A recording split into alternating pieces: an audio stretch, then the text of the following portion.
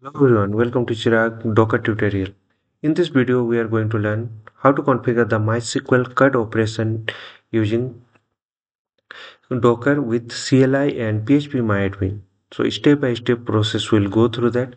CRUD means create, R means read, U means update and D for delete. So all the process will go through the step by step. So this guides uh, assume zero prior prior knowledge and perfect for the learning practice interviews and and uh, there uh, MySQL CRUD operation in Docker, CLI and phpMyAdmin. So what you will uh, learn there? So run the PH, uh, MySQL in Docker and connect via the CLI, connect via the phpMyAdmin GUI and perform the create, read, update and delete. Follow the best practice uh, security practices non-root user. So we have installed uh, Docker here first.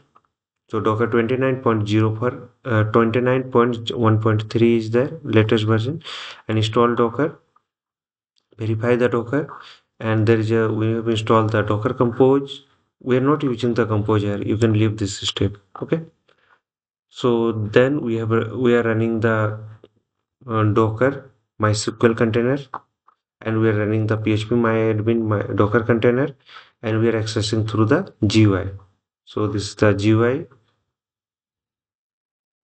So we have a data and we, we have all the details. Whenever we are inserting CRUD operation, create, read, update and delete, you can see data is inserted and we are retrieving the data on the full video.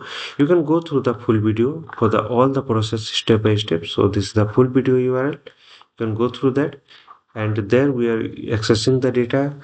So we are creating reading and update and deleting finally deleting the data.